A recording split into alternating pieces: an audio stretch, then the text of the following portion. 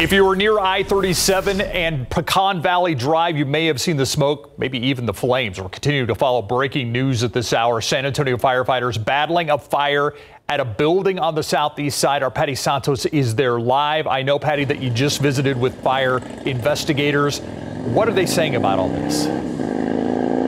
Yeah, this is happening at the villas at Pecan Manor. Uh, the good news is here that they have everything under control. Take a look behind me. This is the building where that fire was happening. Good news is this building was vacant. Uh, they tell us uh, they believe this started on the uh, second floor of this apartment complex. By the time firefighters got here, they say uh, the flames were already going through the roof, and firefighters really had to be uh, pushing themselves to work quickly so that those the wind didn't push the fire to nearby uh, buildings that were in fact occupied. Now, they tell us because this uh, building was under renovation. There was no drywall or anything inside of it, so everything really burned pretty quickly. One of the uh, uh, concerns that they initially had was that the uh, walls were collapsing. They were uh, being broken down by the fire. And so that was one of the concerns, but luckily no one was injured. Now, there were some issues because of the water pressure, they tell us, that was pushing through uh, the building. Some of the uh, water actually fell onto the windows in nearby uh, apartment uh, buildings and they uh, broke but that's something that they can replace really quickly. And they tell us nobody uh, should be impacted by that. But again, this fire, no one impacted because the building was not occupied. We'll send it back to you. I take a little issue with somebody saying that, uh, that, that we're not supportive of law enforcement because we are. A family said just that, and the district attorney today responded after a 15 year plea deal was offered to a man yesterday accused in the murder of SAISD detective, of an SAISD detective. DA Joe Gonzalez and the lead prosecutor on the case sat down with our Erica Hernandez as they explained why this case was so difficult to take to trial. I typically do not grant uh, uh, live interviews before sentencing. We obviously don't want to affect uh, the actual sentencing, but it was important uh, uh, to talk today because I heard some things on your report yesterday that were disturbing to me. District Attorney Joe Gonzalez and prosecutor Jeff Moliner spoke about what happened in the case that resulted in the death of SAISD detective Cliff Martinez outside a Southside IHOP in 2019. Gonzalez says the defendant, Alfredo Martinez Contreras, should have never been indicted for capital murder in the first place, as there was no evidence showing Martinez Contreras in the vehicle that ran over Detective Martinez. As a matter of fact, the, the evidence that we have is uh, it was in dispute whether or not he was even at the scene. We believe that this defendant had already left the scene. Gonzalez and Moliner say that despite what Detective Martinez family told us yesterday, they were in communication with the Martinez family as the case moved along. Moliner even saying that the remark from the victim's brother about a plea deal being the only option and not caring what the family wants was not correct. I never said anything like that. I hope that he will pause and reflect and refresh his recollection uh, that that what they think always mattered, always mattered a great deal. Another thing Gonzalez wanted to emphasize was his support for law enforcement after Detective Martinez's brother said he felt justice was not served. Well, I take a little issue with somebody saying that uh, that that we're not supportive of law enforcement because we are, and that's another uh, point I wanted to make clear to the family and to the public. Could you honestly say though that justice was served for Cliff? In my mind, no. I mean, I, I think that is it the result that we wanted? Uh, no. We have to make decisions uh, that we believe are in the best interest of the memory of, of a, a, victim like Cliff and in the interest of justice. And, and, that's what I believe we did in this case. The Martinez family will be present on Monday for sentencing, where Gonzalez says he will meet with the family again. Erica Hernandez, KSAT 12 News. A fight between two women outside of a bar near downtown ends with a man getting hit by a truck. It happened just before 2:30 this morning in the 1400 block of North Main Street. That's not far from McCullough and I-35. According to police, two women were fighting in the parking lot when one got into a truck and ran over a man that the other woman was with. That man hit was taken to BAMC. He's expected to be okay. The woman driving the truck has not been found. San Antonio police say she will be charged with failure to stop and render aid, as well as other charges when they find her. In an emotional interview, the mother who survived a shooting opened up about the gradual progression of domestic violence in her life. From her hospital bed, Mariah Claire talked about the attack that killed her 11 month old daughter and left her two year old in intensive care. Two other children escaped the house. The accused attacker, this man, her ex husband, Stephen Claire. As she and her daughter head towards healing, Mariah wants abuse victims to understand domestic violence starts far before attacks like this happen. He's always been very controlling and very manipulative. The pressure, the intimidation, the fear that go with your gut instinct. Trust it. If you don't feel safe, it isn't. That's Roseanne Paisano with the Bexar County Family Justice Center. She says abuse doesn't have to be physical to be domestic violence. She says gaslighting, emotional and verbal abuse can slowly progress to dangerous physical situations. If you are experiencing domestic violence, help is out there. We have a list of resources at ksat.com slash domestic violence. A crime may actually be slightly down in San Antonio overall, but a massive spike in car thefts behind a 3.4% bump in property crime. During a presentation today on the city's first quarter crime stats, San Antonio police revealed that car thefts are up more than 59% in our city compared to the same time last year. Garrett Berger talks with the chief about what could be driving it. Assaults and other thefts may be lagging behind 2022 numbers in San Antonio, but car thefts have hit the gas in the first three months of 2023.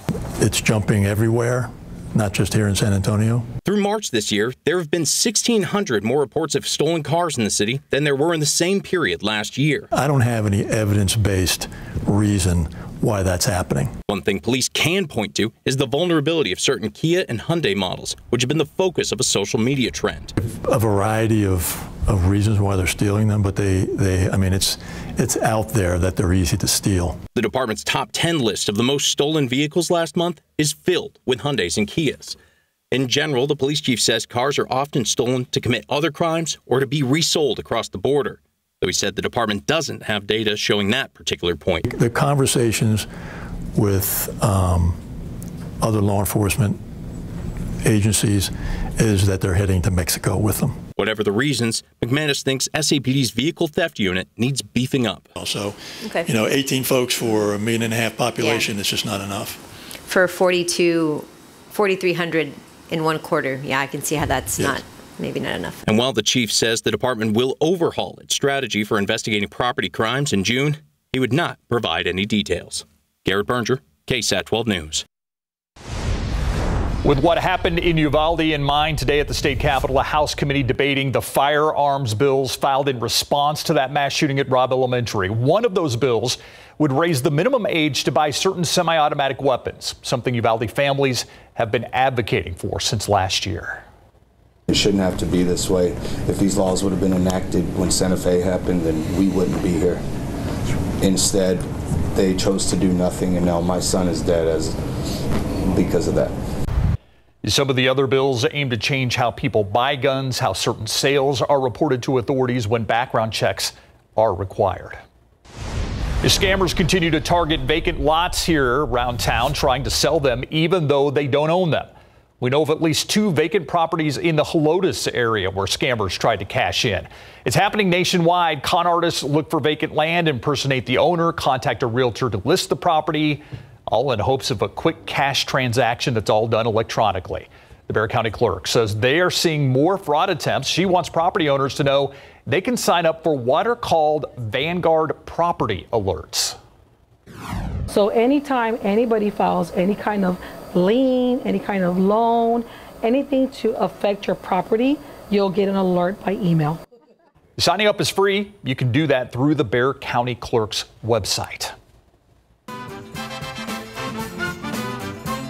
Just a couple of days as we count down to Fiesta 2023, people are making sure they have everything they need to be decked out for that party with a purpose.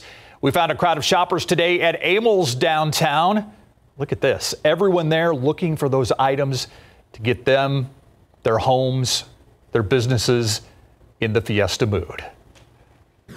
That's literally the reason I came. So I live off of like 1604 in Shanefield, and the reason we came here was because they're so much more cheaper. So uh, we didn't want to spend like 20 bucks on one at the actual festival, so we decided to come here. Yeah. I bought two, not enough of these for the house. I'm doing the whole fence around and the top. We're finding it very interesting. We're finding things that we didn't even expect to find. It's great to see Amels busy. I remember during the pandemic when it was empty there. Right now on KSAT.com, we have everything you need to know to plan your fiesta, event schedules, parking information, how you can watch all the parades. Just scan this QR code. That will take you to our KSAT Fiesta homepage. And of course, everybody wondering what the weather is going to be. Look at those dark clouds off in the distance, Adam. Yeah, a few of those dark clouds dropping some rain and even a little bit of lightning and thunder west of San Antonio at the moment and a few showers elsewhere. Here's a look at our live radar and just very light spritzes and sprinkles here. Wilson County stretching into northern Atascosa County. These are very short lived splash and dash. You see this animation over the past hour it doesn't show these lasting very long, but there's been some more significant development in Medina County. This is just north of Highway 90, even stretching into Uvalde County, some heavier rain. And this is slowly pushing northward at 14, uh, about 15 miles per hour. So we can time this out, see when this, if it holds together, could even make it to Bandera. These are uh, just drifting northward a little bit. But should that hold together, that bigger batch, not this first line, that bigger line would make it to Bandera at 6:53 p.m. We'll take another look at the radar across our area and talk about our storm chances going forward, along with the strong cold front that's going to affect your weekend in just a bit. Thanks, Adam. Let's take a live look right now with traffic at US 90 at Medio Creek, and you can see no sign of the storms out there, although there is a bit of a slowdown. Heavy traffic, though, in both directions. And coming up after the break, Spurs executives and commissioners court asking for more games in Austin. That's not all the organization wants. Find out what else the Spurs are wanting. Up next.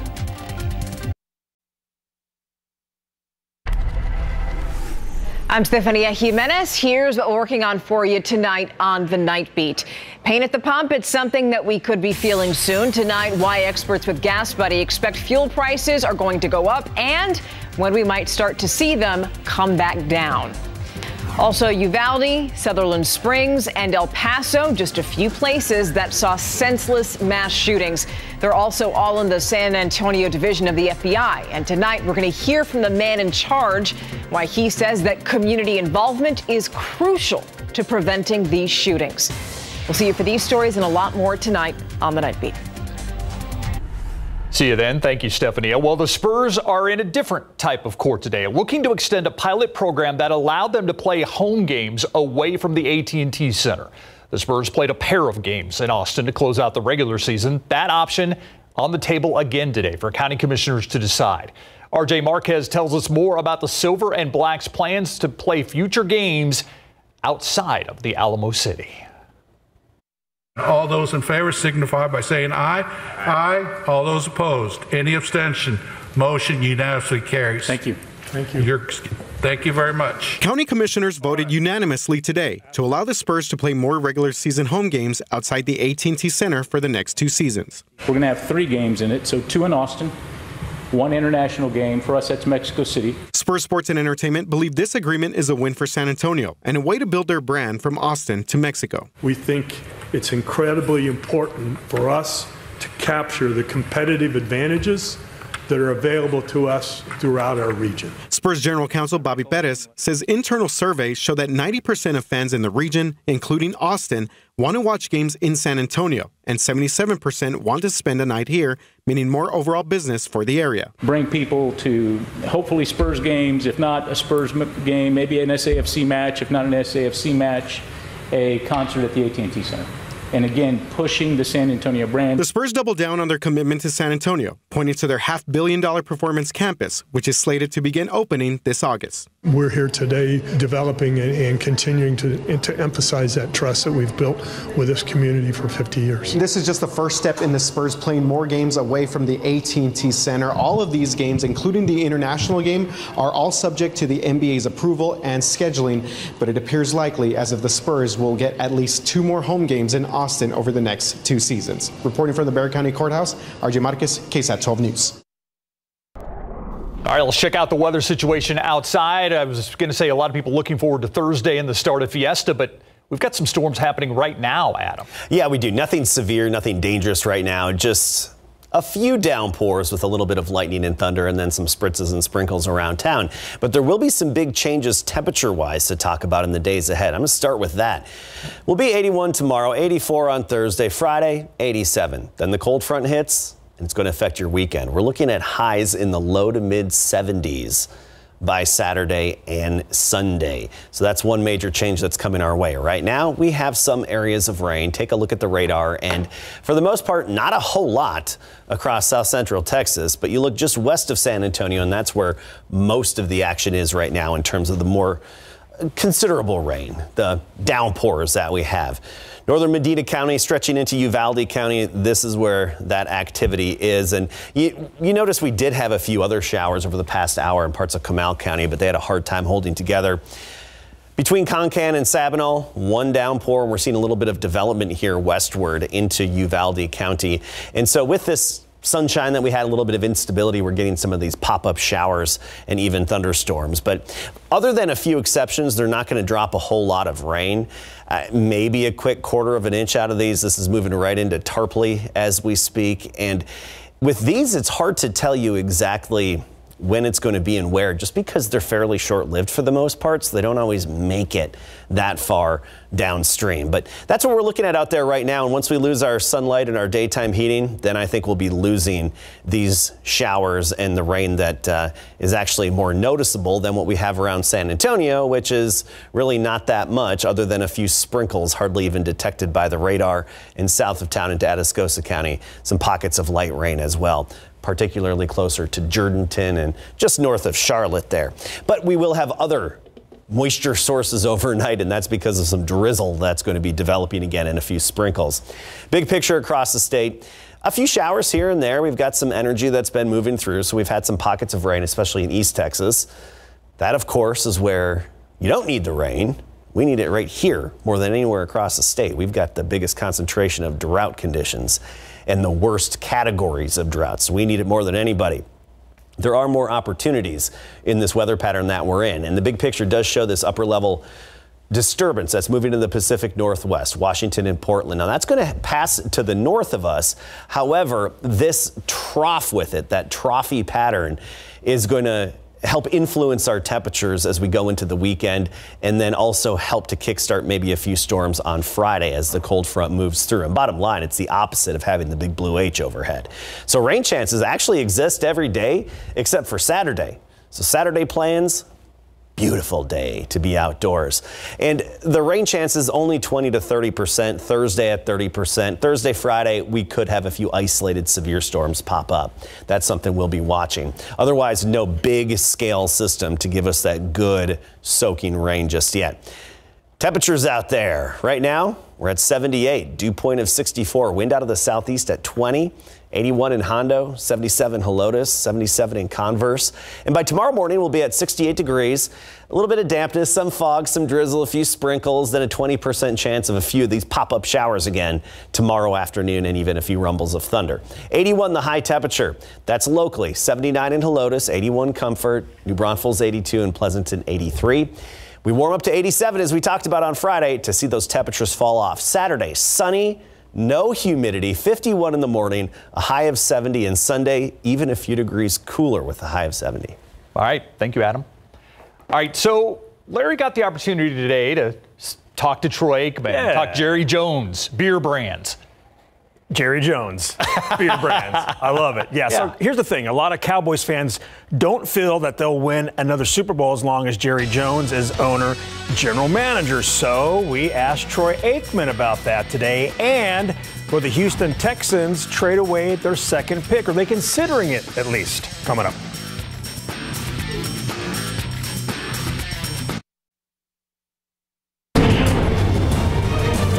Three-time Super Bowl champion Troy Aikman is celebrating the first anniversary of his beer, 8 Elite Light Lager. He brewed the beer and launched it in the Lone Star State last spring. Now, more on that in a minute, of course. Troy led the Cowboys to their last Super Bowl championship in January 1996 when they beat the Steelers 27 17 to win Super Bowl 30. And since then, nothing. I mean, that was their last Super Bowl appearance. There are some that say the boys will not win the big game again as long as Jerry Jones is the owner and general manager. Now, we asked Troy, how does he feel about that? Well, they haven't yet. So I mean, and, and, you know, until that happens, people that say that are right. You know, it's kind of like Dak: is can he win a Super Bowl? Well, you know, until he does, there's always going to be those questions as to not, whether or not he will. Um, I don't know. I, I think the the the confusing part has been they have been really good in the preseason. I mean, pre, in the regular season, they've done a lot of good things. They've won a lot of games. And for whatever reason, it just hasn't translated into a great deal of success in the postseason. They haven't played their best football uh, when they've gotten into the postseason. How do you change that? I think that's the that's the million dollar question. We spoke with Troy at Perry's Pizzeria and Tap House. He was there to talk about his beer, 8 Elite Light Lager. Since its launch last spring, 8 Elite achieved the number one spot of best-selling new independent beer per IRI, a company that tracks that type of data. Now, we asked Troy if he dreamed it would become so popular. Yeah, probably. I'm a pretty optimistic guy, and we had high expectations, but uh, it, it, it's done really well. I think that uh, there's a couple things. One, I'm really proud of my team. Uh, I have great partners. I have really smart partners. I learned a long time ago that you're only as good as the teammates you have. And I've had great teammates throughout my life, and I do with the Beer Project. Uh, but even those that are out in the field uh, do an unbelievable job. So I'm proud for a startup company to be able to have the impact that we've had. But then also just uh, the way that it's been received and the taste. And I think that people uh, that have tried it, you know, have come back and it's resonated well with them. With the 2023 NFL draft next week, the Houston Texans are working overtime to figure out what they should do with the second overall pick. The common thought is they'll draft a quarterback, either Bryce Young or CJ Stroud. There's also a chance they could pick who they think is the best player available, which may not be a QB. During his pre-draft presser yesterday, Texans GM Nick Caserio was asked about the possibility of trading away the second pick to team up to look up to another team who's just moving up in the draft. We've received some calls actually on the number two pick. So I think our job and responsibility is to listen, um, know, not rule anything out. Um, and I think whatever the end result is, um, come Thursday, you know, we'll be prepared to go um, either way. So if you want to quote me, are we open for business? I'd say we're open to listening. So if you want to change the vocabulary this year a little bit, but uh, we have received a few calls, um, and again, I think our responsibility is to listen, um, to try to take the information in, and then just make the right decision. NFL draft starts Thursday to 27th with the first round, and the remaining six rounds will take place on Friday and Saturday, all in Kansas City. UTSA baseball team made the D1 baseball rankings for the first time ever, coming in at number 25. They also earned a spot on three other polls. UTSA will host Texas State tonight. We'll have those highlights for you on the Night Beat. Always a big rivalry when UTSA and Texas State play in anything. In anything, indeed. All right. Thank you, Larry. Coming up after the break, we're going to talk Prop A with a woman who was vital in getting it on the ballot. We're going to talk about it coming up.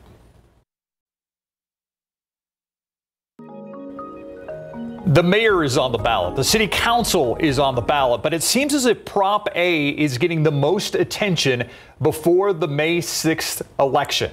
So joining us, we have Ananda Thomas with Act for SA. You were vital in getting Prop A on the ballot.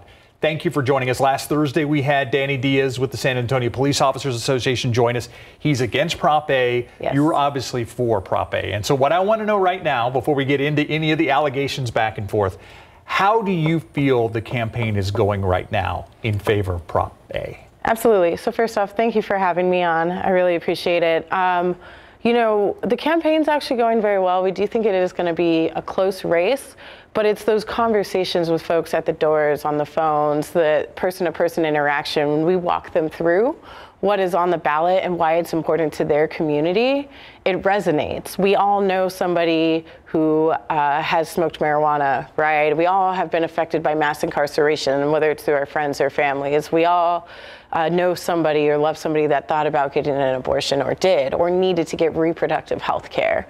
And so we all have a tie into this. Is that the main selling point that you tell people when you're like, if they're on the fence or if they're against, why should I vote for Prop A? What is your, what is your standing at the door pitch? Yeah, so um, I mean, the first part obviously is walking them through what this is, but also what it means for the community. So, Prop A is actually the first abortion related ballot initiative, not just in Texas, but the entire South since the overturning of Roe v. Wade. So, to make our voices heard on reproductive justice, on abortion rights, on criminal justice, on police reform, all of these things that we have been having conversations in our community with over the past few years. This is the people legislating themselves and taking it to a vote to say to your elected officials, uh, both at the state and local level, this is how we feel and the type of solutions that we want to find because it saves our community. What do you say to people who say, yes, you can make a stance on abortion, you can take a stance on marijuana, but it doesn't change the law? Like it can't be done at a local level. It has to be a state or federal level for some of those things. So this would decriminalize low level marijuana and abortion, which is close to deprioritization. We, as a home rule city, get to direct our tax dollars, including our police officers, and say, we actually want you to focus on violent and more pressing crimes and not be policing women or pregnant people for uh, for the healthcare decisions that they make or doctors because that is not the priority for our community and not what we view as keeping and making our community safe. There, I've also heard the criticism that there's just too much in here.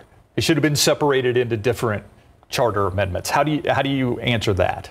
Yeah, I mean, the first part of that is that um, both the city and even the Supreme Court at one point had the choice to decide whether to split this up or not.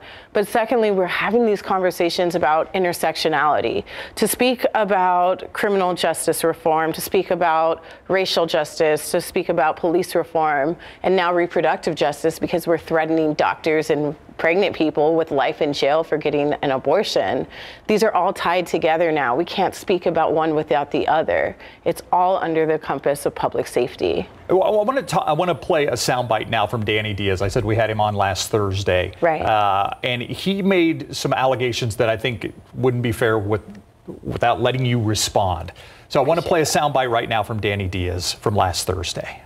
Act for SA states that there are nonviolent crimes you know that's that's not true because there's uh, simple assault that's in there. Uh, we can tie that into family violence, and there's voyeurism. You know, who doesn't want a peeping tom arrested? Ananda Thomas, I'm going to give you the chance to respond to what Danny had to say there. Absolutely. So uh, this does include most Class C misdemeanors.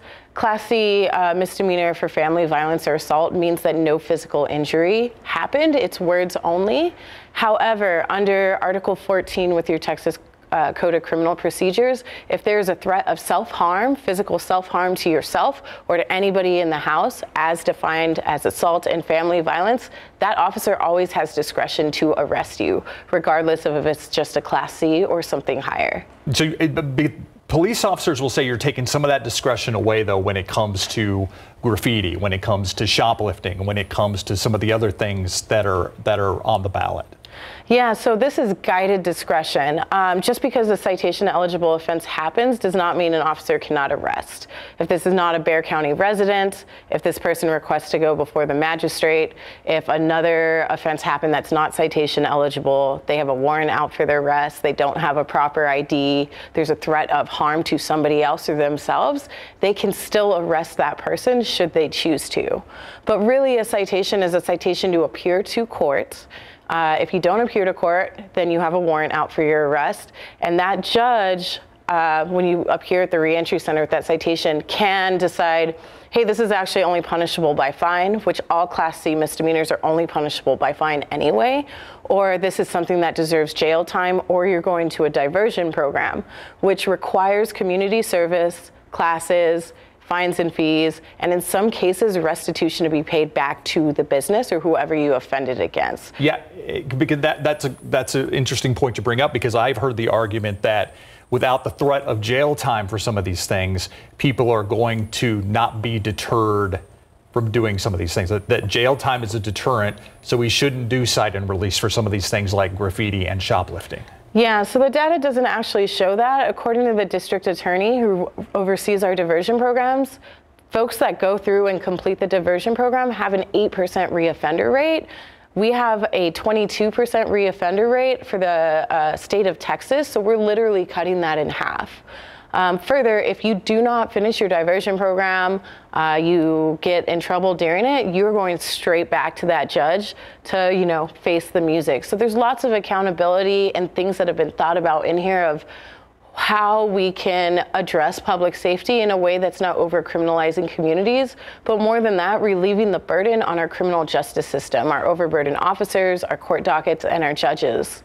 You're, you're facing a coalition that I don't know that I've ever seen before in San Antonio, where you have the Police Officers Association, yes. you have a lot of the big businesses in town, and you have five city council members and the mayor recently who have come out in opposition to Proposition A. How are you viewing that opposition from all these different kind of, you know, usually not seeing eye to eye coalitions? Yeah, you know, um, it, is disappointing to see so many of our elected officials giving into fear mongering and misinformation.